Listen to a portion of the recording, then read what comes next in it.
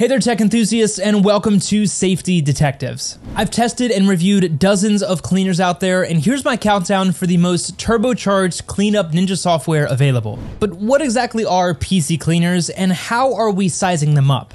Think of PC cleaners as your computer's personal janitor, tidying up, optimizing performance, and keeping things running smoothly. We're comparing them based on ease of use, effectiveness, feature variety, and system impact. Just one quick thing before we dive into the full list if at any point you want to get any of these PC cleaners, we'll have a direct link in the description box down below, so be sure to check that out. Using our links gets you the best available deal and greatly supports our channel, which we really appreciate. Offering impressive device tune-up options, it's almost as if Norton 360 took a speed potion. Its powerful real-time protections go after those pesky malware, PUPs, and adware, which might be the culprits behind the slow-paced performance of your PC. I have to give props to Norton's disk optimization tool as well. In just minutes, my disk was defragmented, feeling all shiny and new. And let's talk about that quick file cleanup scan, which identified and removed all of my junk files in no time.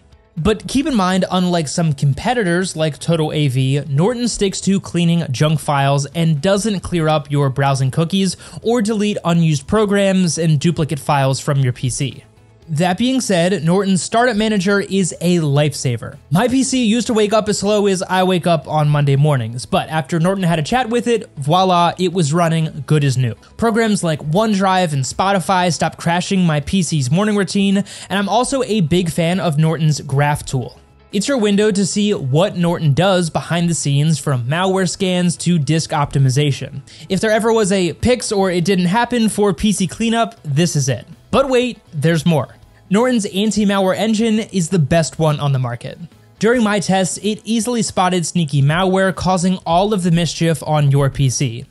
From crafty cryptojackers to sneak spyware, Norton is always on the case. Speaking of value, I think Norton's 360 Deluxe plan comes pretty cheap, especially if you consider the number of features that it includes covering up to five devices with top tier antivirus and optimization tools, plus other goodies like parental controls and cloud storage. It's a package deal. And for all of my gamers out there, Norton's got a little something for you as well. It provides an excellent gaming plan that optimizes gameplay and includes a game booster mode that puts Norton on the top of our list for the best gaming antivirus in 2023.